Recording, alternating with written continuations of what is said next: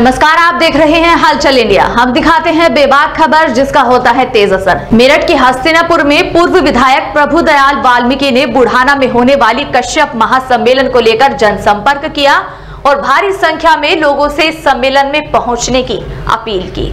मेरठ के हस्तिनापुर में प्रेस वार्ता के दौरान पूर्व विधायक प्रभु दयाल वाल्मीकि ने होने वाले कश्यप महासम्मेलन को लेकर हस्तिनापुर विधानसभा से राजेंद्र कश्यप, प्रदेश सचिव पिछड़ा वर्ग प्रकोष्ठ बनारसी दास कश्यप, प्रदेश सचिव दयानंद ने बताया कि 18 अक्टूबर को समाजवादी पार्टी के राष्ट्रीय अध्यक्ष व पूर्व मुख्यमंत्री अखिलेश यादव कश्यप महासम्मेलन को संबोधित करेंगे। कार्यक्रम संयोजक सुधाकर कश्यप के नेतृत्व में हस्तिनापुर विधानसभा से लगभग चौदह बस, ट्रैक्टर, ट्रॉली, गाड़ी आदि अपने साधनों से लोग भारी संख्या में बुढ़ाना पहुँच रहे हैं। समाजवादी पार्टी से विशंबर प्रसाद निषाद, राज्यसभा सांसद और राष्ट्रीय महासचिव और राज्यपाल कश्यप, सदस्य विधान परिषद और प्रदेश के अध्यक्ष, पिछड़ा वर्ग प्रकोष्ठ शंकर लाल मांझी पूर्व कैबिनेट मंत्री किरण पाल कश्यप पूर्व राज्य मंत्री समाजवादी पार्टी के वरिष्ठ नेता बुढ़ाना पहुँचेंगे।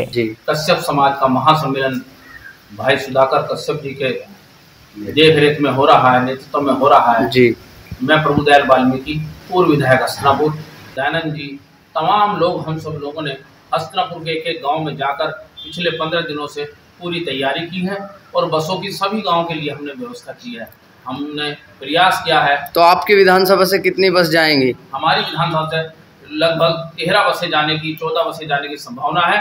हमने प्रत्येक गाँव में कोशिश की है कि हम सब गाँव के जो हमारे कश्यप समाज के लोग हैं जो हमारे समाजवादी पार्टी के कार्यकर्ता हैं तमाम लोग कल बुढ़ाना जाकर अपने राष्ट्रीय नेता मान्य अखिलेश यादव जी पूर्व मुख्यमंत्री उत्तर प्रदेश जी के ओजस्वी विचार सुने और ये जो भाजपा सरकार ने उत्तर प्रदेश के अंदर अराजकता फैला रखी है महँगाई कर रखी है किसानों की बात सुनने को तैयार नहीं है ये सारे विचार हम अपने राष्ट्रीय नेता के कल बुढ़ाने के अंदर सुनेंगे।